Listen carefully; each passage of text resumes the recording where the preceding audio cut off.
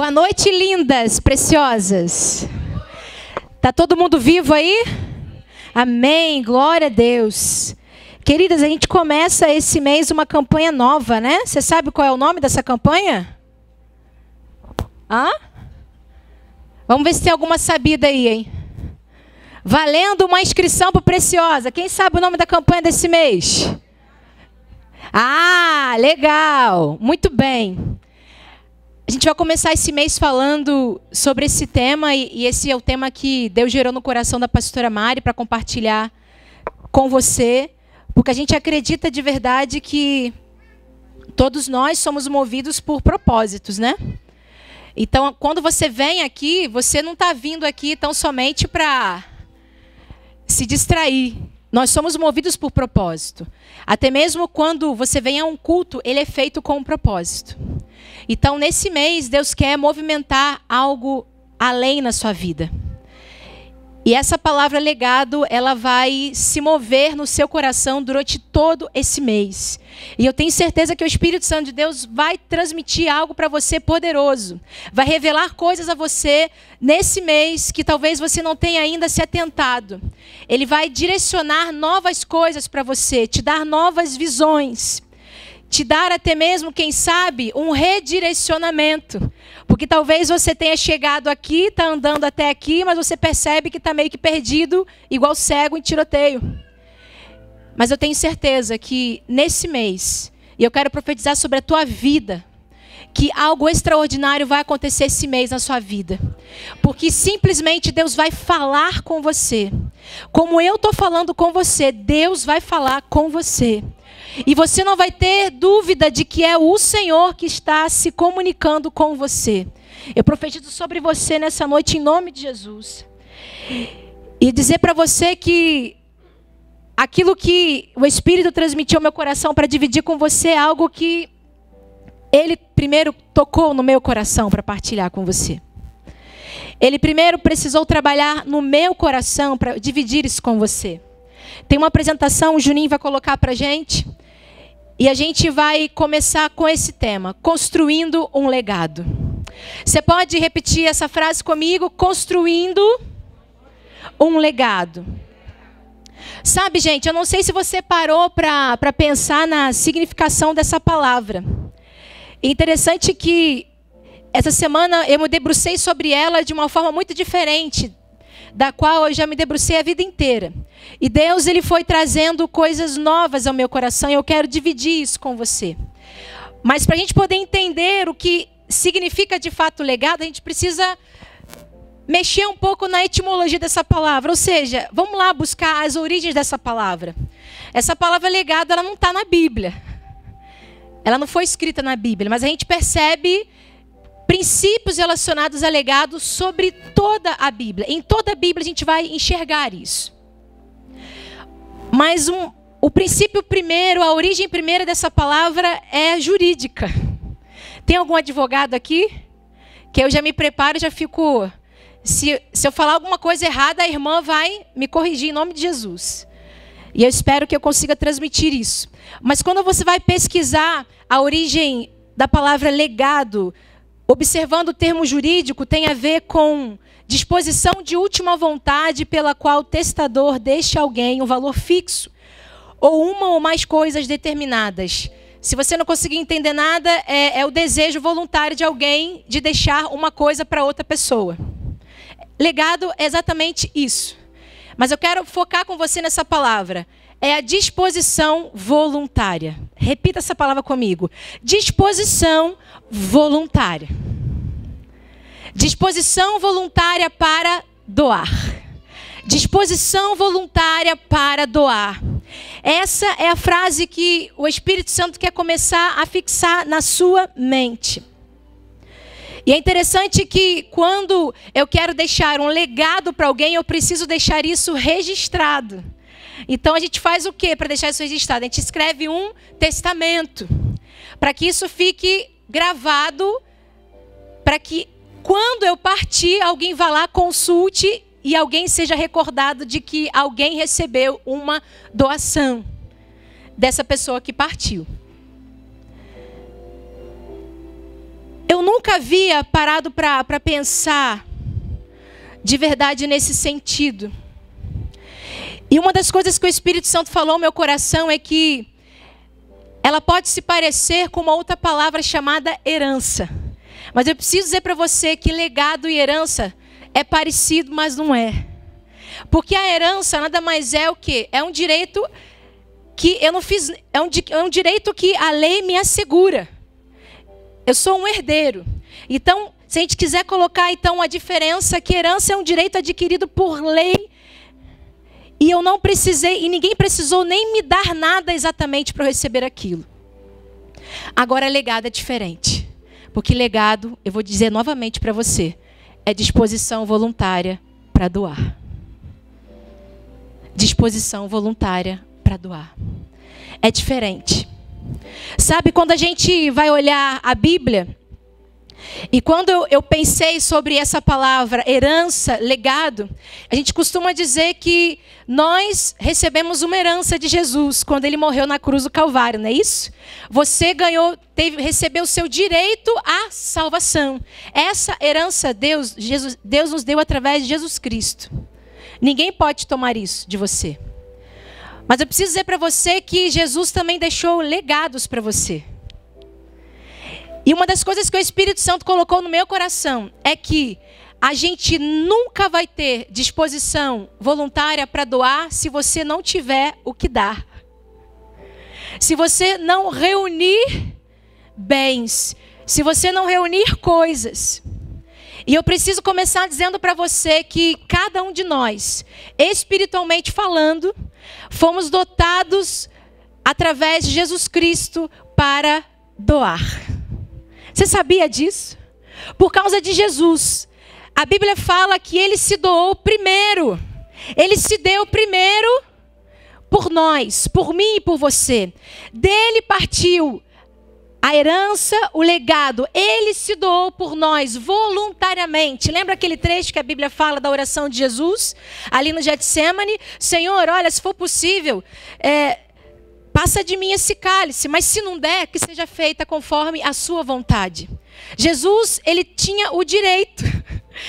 Foi-lhe dado a possibilidade de não fazer o que ele fez, mas ele entendeu no seu coração que ele precisava fazer a vontade de Deus. Então, voluntariamente, ele se doou por mim e por você. Então, eu preciso dizer para você que por causa dele e tão somente por causa de Jesus, nós fomos chamados por Ele também para deixar legados. Porque Ele fez assim por nós. E você para para pensar assim, mas me explica aí, como é que foi esse negócio aí de legado? Bem, antes de Jesus morrer, o que, que ele fez? Ele reuniu a galera dele e ali ele fez um testamento. Para para pensar se não tem cabimento. Antes dele morrer, ele chegou para os seus discípulos e deu para eles o quê? Umas ordenanças. Não foi isso que ele fez? E uma dessas ordenanças foi: queridos, eu quero que vocês vão e façam discípulos de outras nações. Ele estava se doando, ele se multiplicou na vida de outras pessoas e agora ele estava dizendo o seguinte: assim como eu estou deixando para vocês um legado, eu quero que vocês vão e façam o mesmo. E aí você vai perguntar para mim assim, então, você está querendo dizer para mim, Roberta, que eu sou obrigada a deixar legado? Eu vou dizer para você que sim. Porque a palavra de Deus, ela diz isso. E eu gosto muito de sempre buscar o sentido das palavras. Ordenança tem como negociar, gente? Hein? Não há como negociar. Ordenança é ordenança. Então a gente não pode mais se colocar na postura, na posição de que eu não vou fazer, não vou fazer, eu não quero fazer. Você até pode fazer isso. Mas você precisa dizer que você confessar e reconhecer que você carrega dentro de si a presença de Jesus. E você um dia, quando levantou a sua mão para Jesus, quando você passou pelas águas, você assumiu o compromisso de ser um fiel seguidor de Jesus. Verdade ou mentira? Então a gente precisa de verdade se lançar nessa coisa chamada legado. E aí, gente, sabe o que, Deus falou comigo em relação a isso? Sabe qual foi a imagem que o Espírito Santo colocou na minha mente? Não fique pensando que eu estou depressiva, que é alguma questão mórbida, não. Mas ele colocou exatamente essa imagem na minha cabeça: uma lápide de cemitério. Você já observou quando você anda em cemitério? Eu já fiz esse exercício, né? Não pensa mal de mim, mas eu já fiz esse exercício de ficar lendo o que está escrito nas lápides. Quem já fez esse exercício? Todo mundo já fez isso, né? Porque a gente é movido por curiosidade para saber quem é que está sepultado ali. Por quê? Porque aquilo vai nos remeter à história de vida daquela pessoa. E dependendo da frase que tem ali, aquilo vai nos dizer quem é aquela pessoa. E uma coisa interessante na lápide que está lá, tá lá no cemitério, que a frase que está escrita ali não foi a pessoa que escreveu. Você já parou para pensar nisso? Que a frase que está escrita na lápide do cemitério foi alguém que escolheu aquela frase para ser escrita ali, que não é aquele morto. Para dizer para mim e para você que aquilo que você e eu decidimos escrever nessa vida, e você só tem essa vida para viver, quem vai contar isso não é você, mas são as pessoas. Elas é que vão dizer quem é você. Quando você partir dessa terra, elas é que vão contar sobre quem é você. E aí eu, curiosamente, fui pesquisar algumas lápides, né? De cemitério. Vou, vou compartilhar com vocês poucas delas. Roda para mim, Juninho. Eu pesquisei lápides de famosos, tá, gente? E aí eu localizei ali a lápide desse cara fantástico que é Frank Sinatra. Todo mundo sabe quem é, né? E a frase que está escrita na lápide dele, eu fiquei muito surpresa, é o melhor ainda está por vir. Curioso isso, né? Alguém escreveu isso sobre ele. E tem uma outra lápide também que eu achei bem interessante. Pode passar, Juninho? É Mel Blanc, você não deve conhecê-lo, mas todo mundo conhece o personagem do Pernalonga, Patolino, aquele o Gaguinho, né? Ele é que é o ator que faz essas vozes, ele já é falecido. E a frase que foi que escolheram para escrever na lápide dele foi: Isso é tudo, pessoal, por causa da frase que se fala quando conclui o desenho. That's all folks, não é isso? Alguém escreveu algo sobre essas pessoas que entendia que aquela frase ia descrever a essência daquela pessoa. Mas aí tem uma outra lápide muito interessante. Pode passar a próxima. Essa eu achei linda demais. Ele não está mais aqui. Essa está escrita e é a mais linda de todas. É um lembrete para a humanidade. Ele ressuscitou. Ele venceu a morte. E quando a gente olha para aquilo que a gente pode dizer que é a lápide, sim, é a representação da lápide de Jesus, é que está dizendo de verdade para mim e para você que ele nos deixou um legado de vida eterna. Ele ressuscitou. Ele está vivo. Ele está vivo. E Jesus, ele quer continuar se mostrando nessa humanidade através de quem, gente? Através de mim e de você. Porque nós vamos continuar compartilhando com esse mundo o legado de Jesus.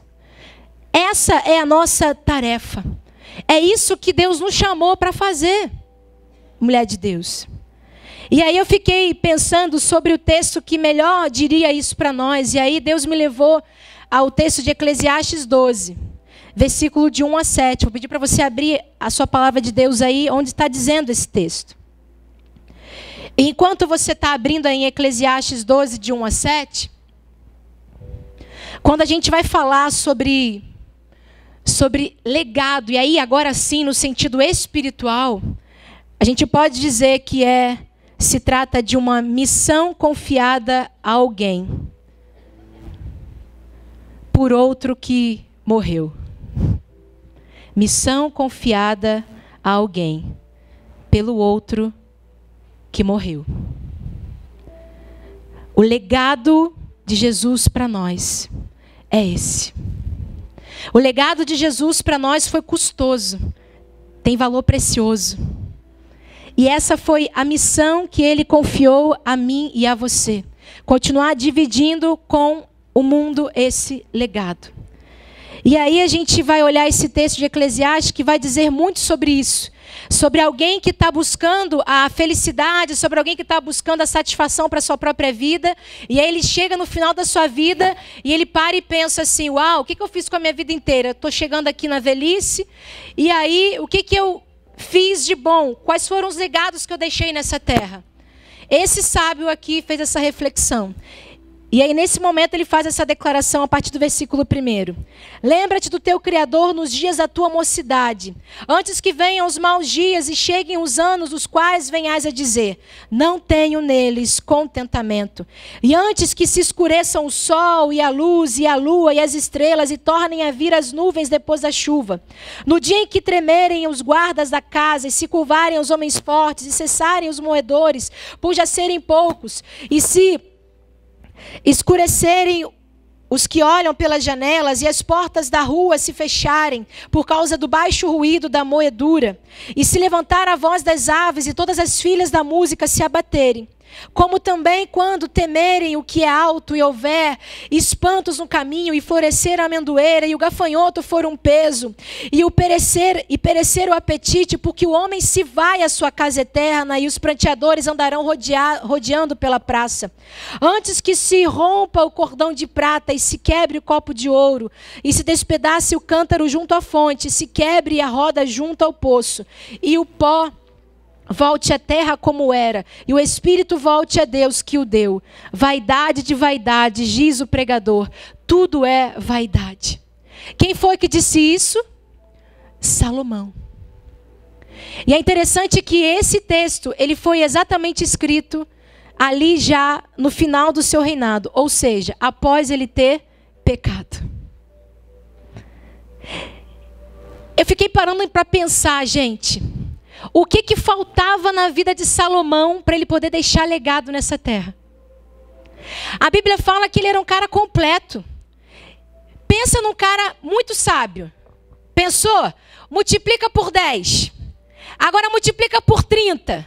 Multiplica por 50. Pois bem, Salomão era mais sábio que ele. A Bíblia fala que não houve sobre a terra e nem vai haver alguém tão sábio como Salomão. Agora para comigo, para pensar comigo se não é de pirar. O homem mais sábio desse mundo chega no final da sua vida e vai dizer assim: Lembra-te do teu Criador nos dias da mocidade, para que quando cheguem os dias maus, você vai olhar para a sua vida e vai dizer: Não tenho nela nenhum prazer. O cara mais sábio disse isso. E aí eu paro para pensar no seguinte, algo para você também refletir, que o deixar legados não está intrinsecamente ligado a ter sabedoria, a ter uma capacidade, mas sim, gente, a uma disposição voluntária em querer dar. Quantas pessoas você conhece que e você pode contar nos dedos das mãos, dos pés, que são absurdamente dispostas a se voluntariar para qualquer coisa? Levanta a mão. Você conhece gente assim? Você olha para aquela pessoa e fala assim: Uau, essa pessoa é, é como diz, diz aí por aí no mundo, é pau para toda obra. Porque a pessoa tem uma disposição em servir. E aí, quando você para para analisar as qualidades, os talentos daquela pessoa, você nem, nem consegue enxergar tantos deles, não é verdade? Eu conheço pessoas assim, que, estão, que são extremamente é, dispostas a se doar, mas que, quando você vai olhar na verdade, todas as virtudes daquela pessoa, você vai enxergar que ela, humanamente falando, ela não é repleta de virtudes e qualidades. Eu conheço pessoas assim. Mas isso é para mostrar para mim e para você, gente, que essa disposição, ela não tem em si a ver com a capacidade que você tem. Mas tem a ver sim com a determinação do teu coração em querer fazer algo, em querer cumprir a vontade de Deus para a sua vida. Tem um primeiro princípio que é importante para você gravar no teu coração. Sabe, gente? Deus ele trouxe você aqui hoje para você fazer um inventário da sua vida. Você sabe o que é inventário, né? Para para pensar agora nas coisas que você está construindo até aqui. Lembra daquela imagem inicial da pessoa ali montando seus tijolinhos? Pensa, reúne agora na tua cabeça. Se Deus perguntar para você aqui agora, e assim, e aí? Vamos fazer o um inventário da sua vida agora, irmã. O que, que temos aí? O que, que temos aí para deixar de legado para as pessoas? Qual será a sua resposta? Qual será a minha resposta? Não pense que isso não passa por mim, porque passa primeiramente por mim. Vamos fazer um inventário da nossa vida. Para você até mesmo saber em que ponto você está. Para você avaliar aquilo que de verdade você tem. E para você consultar e ver o que de fato eu posso doar de valioso para alguém. Porque você nunca vai poder doar algo de qualidade se você não conseguir mensurar o que você tem. Você precisa fazer essa avaliação hoje, irmão e irmã. O que que eu tenho? O que que hoje eu posso oferecer às pessoas? O que, o que que eu estou construindo nessa terra? E aí o primeiro princípio é que se você quer deixar um legado nessa terra, você precisa viver o propósito de Deus para sua vida. O sábio ele começa dizendo assim: Lembra-te do teu Criador nos dias da tua mocidade. É interessante que o sábio ele, ele escolheu muito bem a palavra. Ele disse Criador. Ele poderia ter usado qualquer outra palavra, mas ele quis usar a palavra Criador. Por que isso? Porque aquele sábio estava sendo lembrado de que ele foi feito por alguém, de que ele foi criado por Deus. E todo ser que é criado, tudo que é criado, é criado para algum propósito.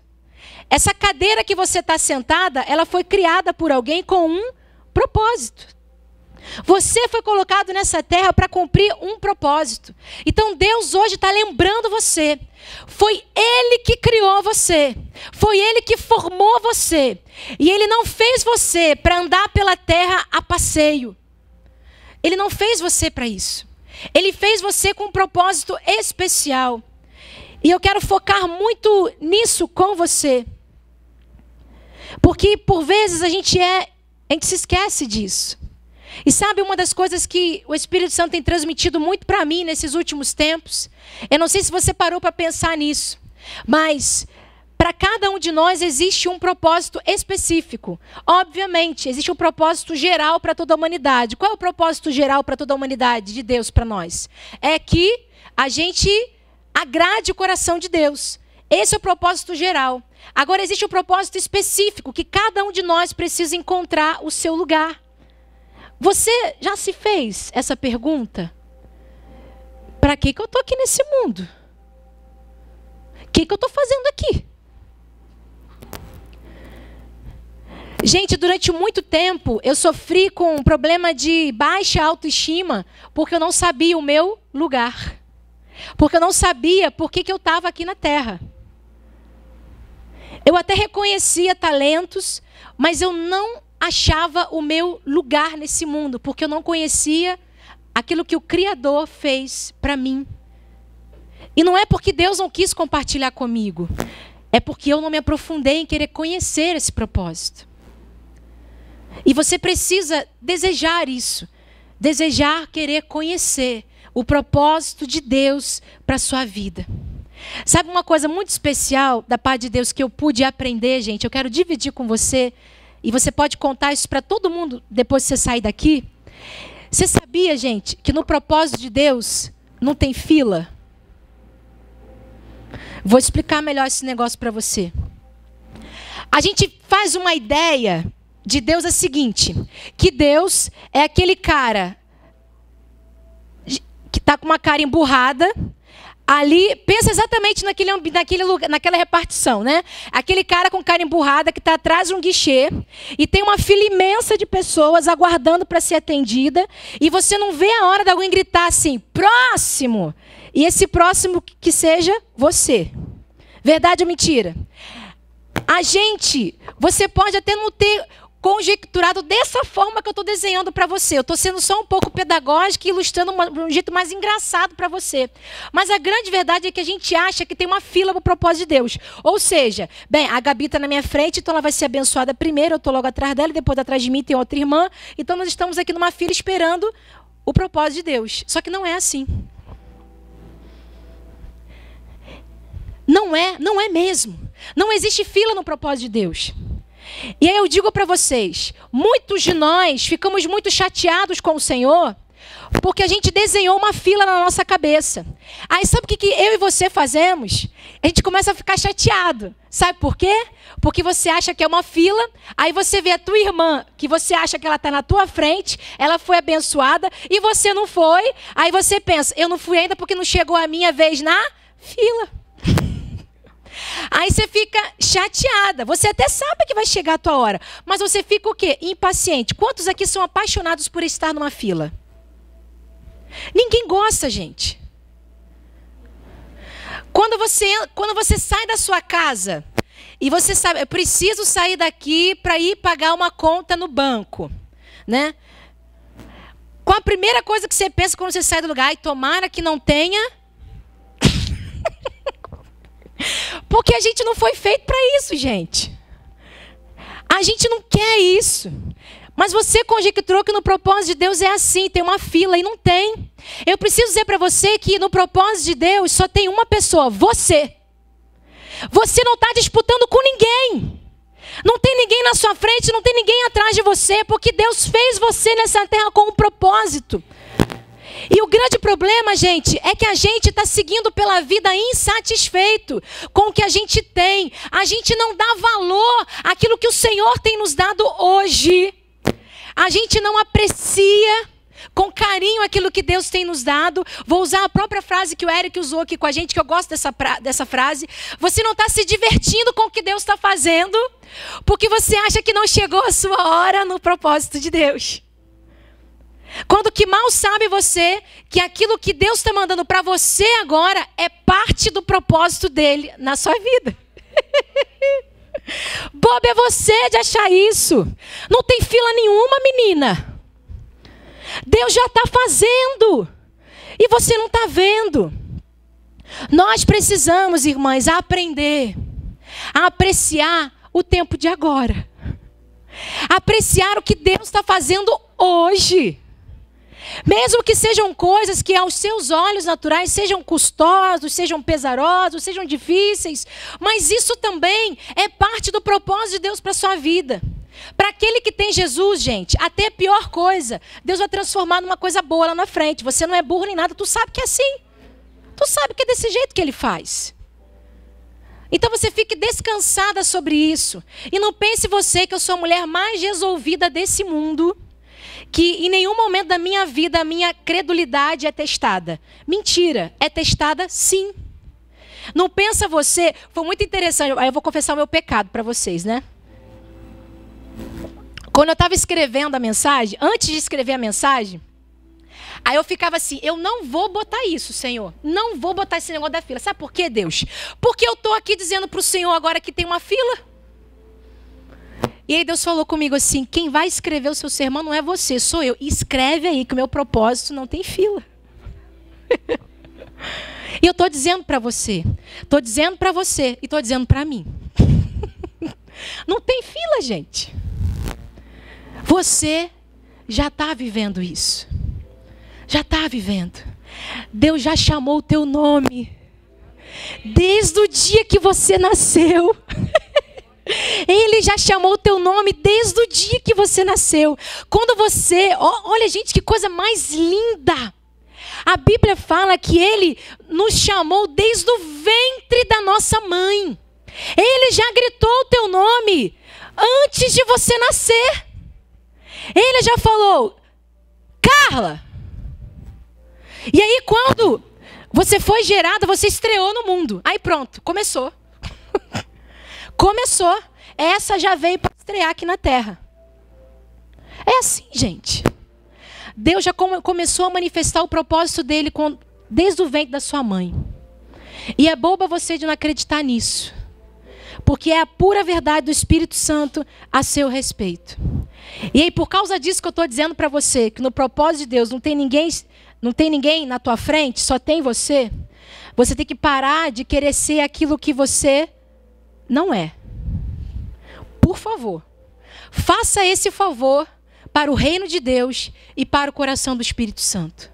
Não tente ser e fazer aquilo que você não é. Porque quando a gente tem a percepção de que Deus está atrasado, a gente começa a querer dar ajuda para Deus. A gente começa a atirar para todos os lados, não é esse termo que a gente usa?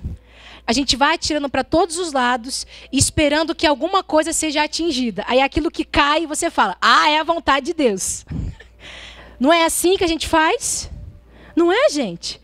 A gente atira para todo lado, aguardando o que vai cair. O que cair, você fala: "Ô, oh, Senhor, muito obrigada, essa é a sua vontade". Mas Deus não mandou você pegar uma arma e ficar atirando. Aleatoriamente. Não é assim que as coisas funcionam. Porque existe um segundo princípio para mim e para você que é: se você quiser construir um legado nessa terra, você vai ter que compreender que existe uma coisa chamada vontade de Deus para você. Vontade de Deus para você. Sabe, gente? Quando eu comecei a escrever isso, automaticamente Deus trouxe à minha mente o pai de Salomão. Quem era ele? Davi. Davi compreendia exatamente o seu lugar. E eu gosto muito daquele Davi lá do início. Esse Davi do início é alguém que eu tenho uma, um profundo apreço. Porque é o Davi que está experimentando, ele está se sentindo entrando no propósito de Deus, sabe? A Bíblia fala que vai contar a história de que Davi era o menor. Mas a Bíblia fala que estava acontecendo uma reunião ali nos terrenos da casa de Jessé, e que Samuel estava escolhendo alguém para ser o quê? Para reinar. E a Bíblia fala que todos eles foram rejeitados. Mas alguém foi achado. Essa pessoa não estava ali entre os escolhidos, mas era alguém que estava escondido lá atrás das malhadas. O que que isso diz para mim e para você?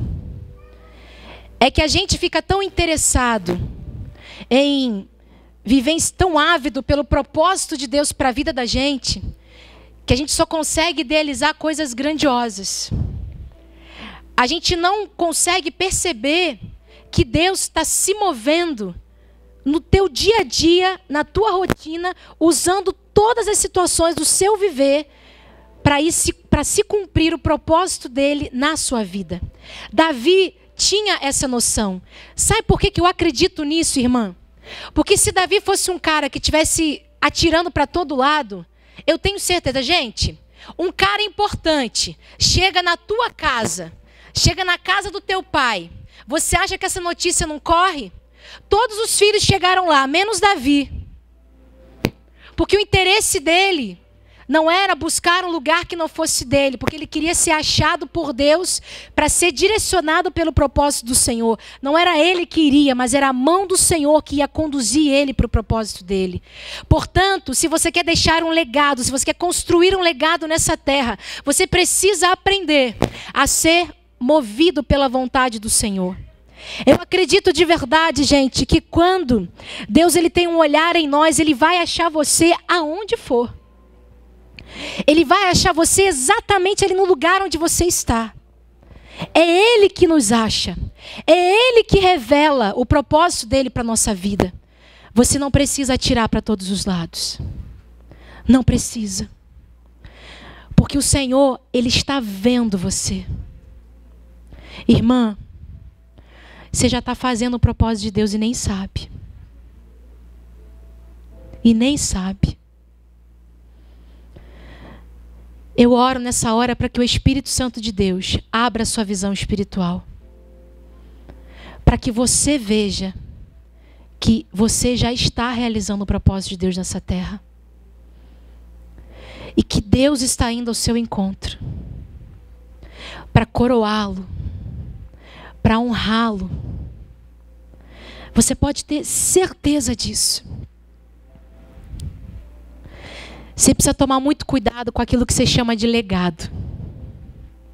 Porque pode ser que você esteja construindo algo que não é legado. É muito mais algo sobre você mesmo do que sobre o outro. E você já entendeu que legado não tem nada a ver com você, tem a ver com o outro. Por isso, a importância do inventário. O que, que eu tenho? Quando você conseguir enxergar o que você tem, você vai saber se o que você está construindo é de verdade legado ou não. Olha para a sua vida agora. Veja o que você está construindo até o dia de hoje. E procura observar se o que você está fazendo está alcançando pessoas. Porque se aquilo que você está fazendo está alcançando pessoas, eu preciso dizer para você que você está cumprindo o propósito de Deus nessa terra. Agora, se isso só passa por realizações pessoais, se isso só passa por uma satisfação pessoal, você não está construindo um legado. Lamento te dizer isso. Sabe, gente, procura não manter a partir de agora uma preocupação exagerada sobre o futuro. Procura, vou usar essa palavra de novo, se divertir com o que Deus está dando para você hoje. O que, que Ele está dando para você hoje? É uma célula? É essa área lá do teu trabalho? O que, que Ele está dando para você hoje? É essa uma pessoa para você cuidar? É essa uma pessoa para você evangelizar?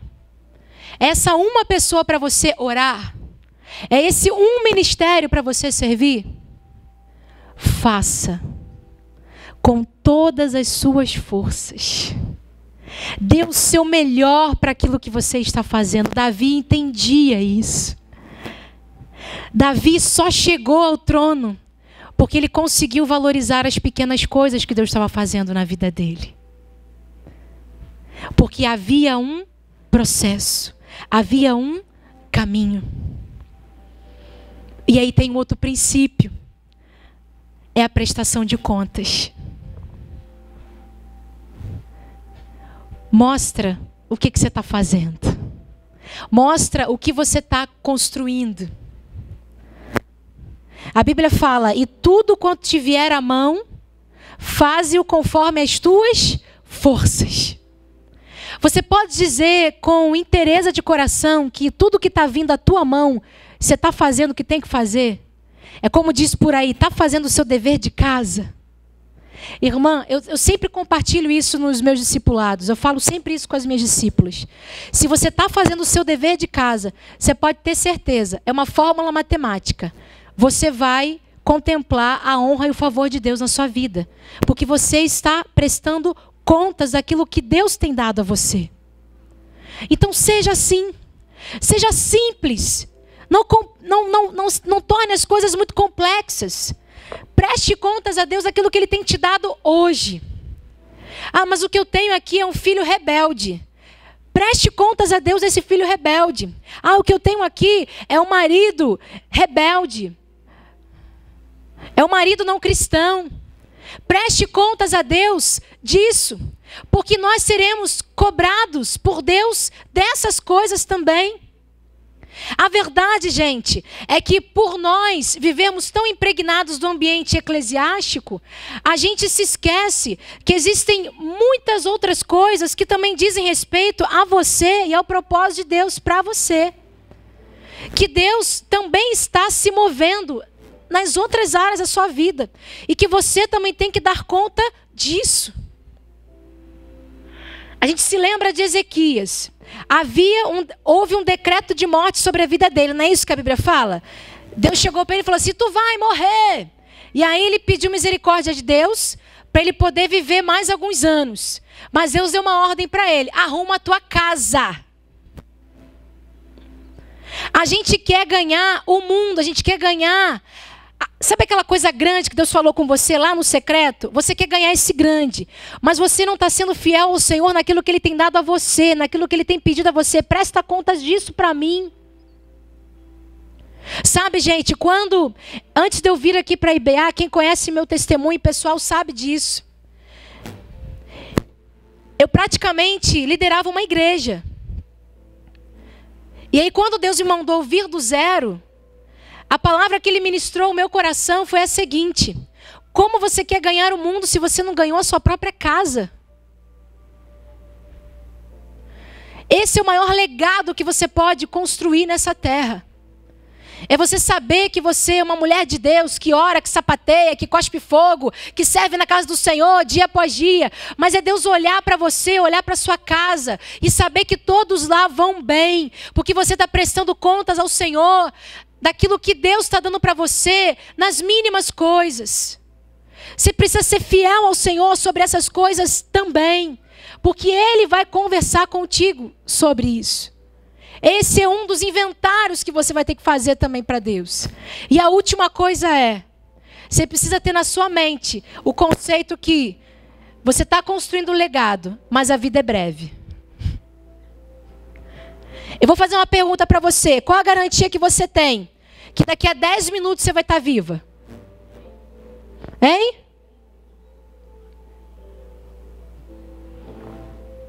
Eu vou contar para vocês uma história. Isso eu vivi na pele.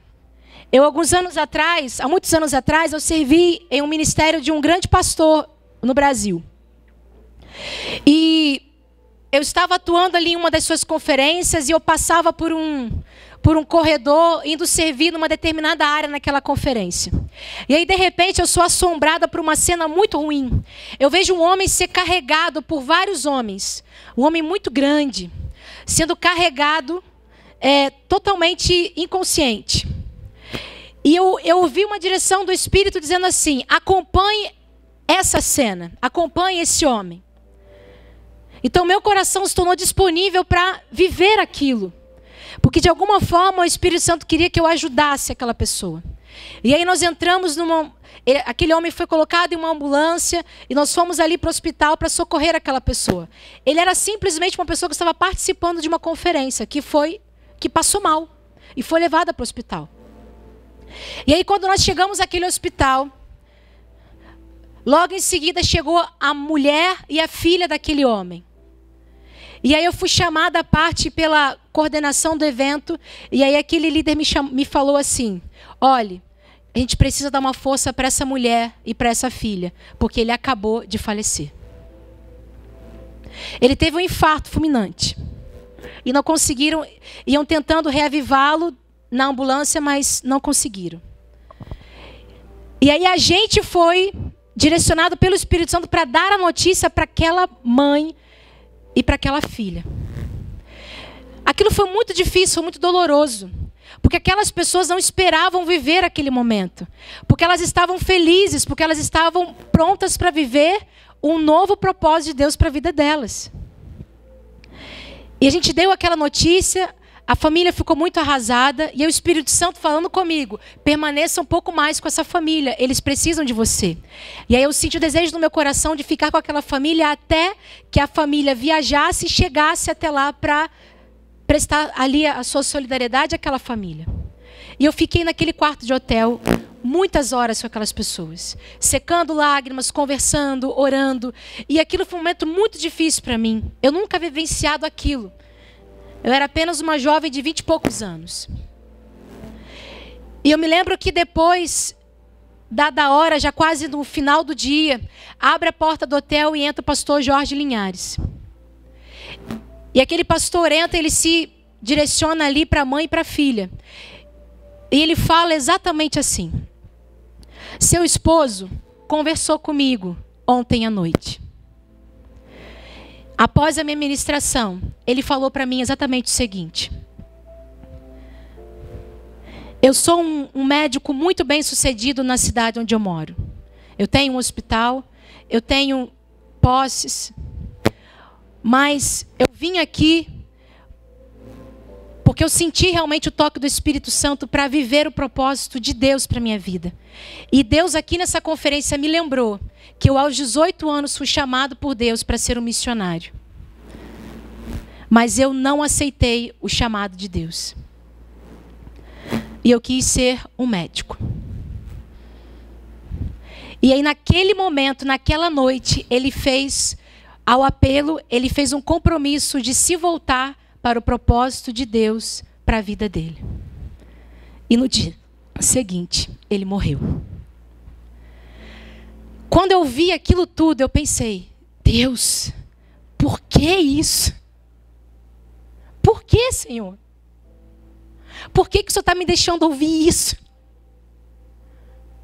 E naquela hora o Espírito Santo falou comigo: Eu estou dizendo isso para você, porque eu não quero que você chegue ao final dos seus dias, que você olhe para tudo que você viveu e você olhe para trás e diga: Não tenho nos meus dias nenhum contentamento. Naquele momento eu entendi. Eu não posso negociar a vontade de Deus para minha vida. O que, que Deus está falando com você agora? A hora, gente, não é amanhã. A hora é agora. É quando você orar aqui agora, essa vai ser a hora. Eu acredito de verdade que esse homem está no céu com Jesus. Eu acredito de verdade que esse grande homem, porque ele era uma pessoa de Deus, porque a própria família testificava isso. E que naquele momento ele fez as pazes com o propósito de Deus. E eu creio de verdade, gente, de uma forma singular que eu sinto em meu coração, que esse homem, de fato, está recebendo uma porção muito especial da parte de Deus, porque ele entendeu o que Deus queria para a vida dele e retomou seus olhos para isso. Ele só simplesmente não pôde desfrutar do prazer de viver isso a tempo. Mas tu está aqui. você está aqui. Então vamos entrar naquilo que o Senhor tem para você. Sabe, gente, nós temos orado aqui como mulheres de Deus e falado muito com o Senhor que nós não queremos que aqui na IBA seja levantada uma geração de mulheres que só venham ao altar de Deus para chorar as suas próprias dores, mas mulheres que entendem que elas têm um lugar no mundo. E eu quero encerrar com você mostrando a imagem dessa mulher. Juninho.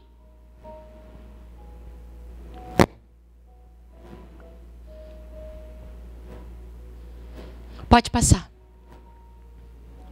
O nome dessa mulher é Catarina Vambora. Talvez você não conheça essa mulher, mas eu quero contar um pouco a história dela. Essa mulher, ela era uma freira que fugiu do convento com outras freiras, porque ela entendeu no seu coração, na época da reforma, na época que Lutero se levantou para a reforma protestante, que a salvação era pela, pela graça, e ele se levantando então contra aquele império eclesiástico demoníaco. Elas entenderam o propósito de Deus para a vida dela, então elas fugiram daquele convento, porque muitas pessoas, muitos monges, muitas pessoas foram perseguidas porque optaram por aquilo que Lutero pregava. E essa foi uma dessas mulheres. E a história vai contar que essa mulher, ela foi resgatada ali, foi acolhida pelo próprio Lutero. Era uma mulher muito firme, uma mulher muito habilidosa com administração, com negócios, uma mulher inteligente, uma mulher também muito orgulhosa, que sabia o que queria, de um, uma personalidade muito forte. Então ela se viu ali não mais freira, tentou até se enrolar com o jovenzinho, mas o jovenzinho a família não deixou casar com ela, porque achava que ela era uma freira perrapada, que não ia ter destino aquela relação.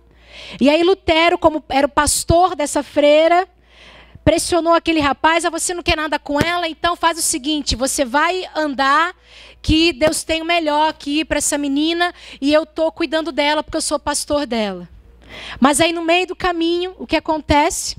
Caterina começou a se interessar pela pessoa de Lutero. E a história vai contar que Lutero nem era muito chegado a ela, sabe? Que ele se casou com ela sem gostar muito dela. Mas porque ele reconhecia as virtudes daquela mulher. Porque dentro do propósito de Deus havia algo ali para eles. E ali então, essa mulher deixa de se chamar Catarina Vambora para se chamar Catarina Lutero.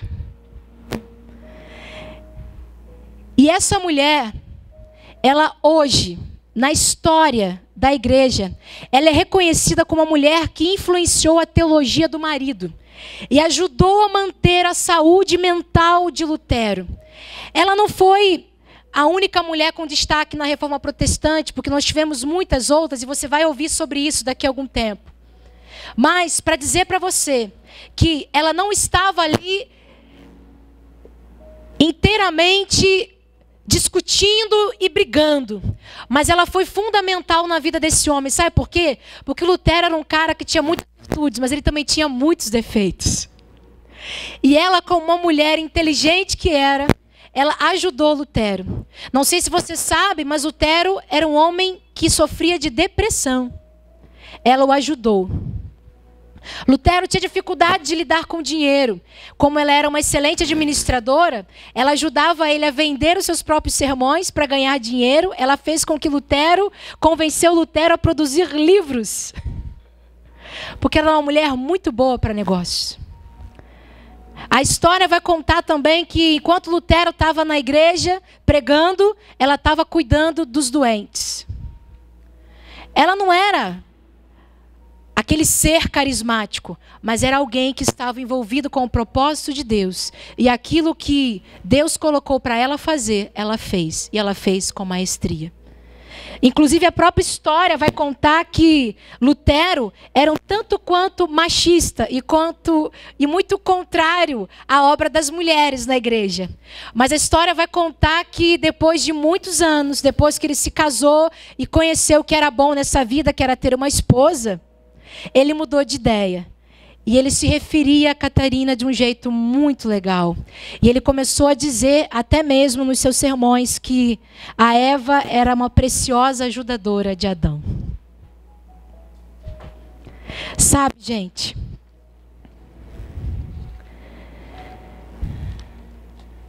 Você está aqui hoje e Deus olha para você. Eu não sou Catarina Lutero e nem quero ser Catarina Lutero. Eu sou Roberta Cardial. E eu quero viver o que Deus tem para Roberta Cardial. E você? Fala o seu nome para eu ouvir agora. Você quer viver o propósito de Deus para sua vida? Que é só para você e mais ninguém? O que, que Deus tem para você, linda?